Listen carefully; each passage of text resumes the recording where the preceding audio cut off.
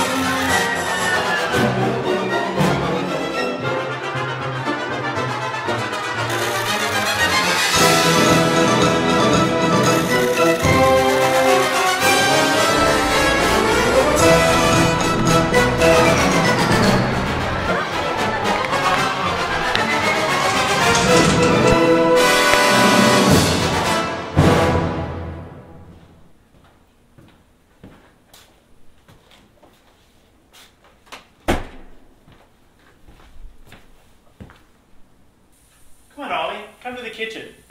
I want to give you a treat for being such a good boy while I was out.